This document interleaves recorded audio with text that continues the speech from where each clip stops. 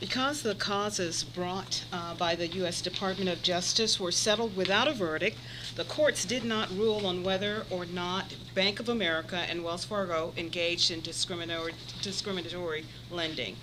But both banks determined um, which of their mortgage loan customers had received discri- discriminatory loans according to a formula they agreed to as part of their settlement.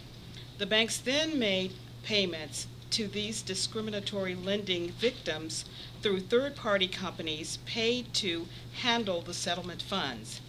It is disingenuous to maintain that Bank of America and Wells Fargo did not engage in discriminatory lending since many reputable government and non-governmental sources agree that they engaged in discriminatory lending, even though they, of course, did their best to maintain that their, ma- to maintain their images and their uh, brands during the court proceedings.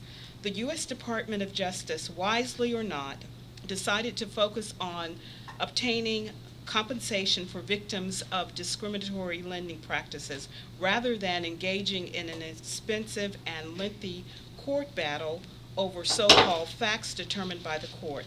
The bank's discriminatory lending practices impacted some plan participants directly through economic burdens sustained from subprime loans rather than subprime loans offered to similar borrowers based on their race, national origin, or disability status.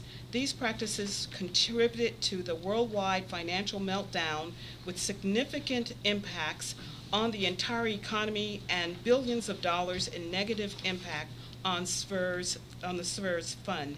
As Commissioner Stansbury has pointed out, the SFERS fund is only now recovering several years later. The housing crisis fueled by discriminatory and predatory lending has required San Francisco to contribute millions more to the SFERS fund, impacting not only plan participants, but all San Franciscans who pay property taxes.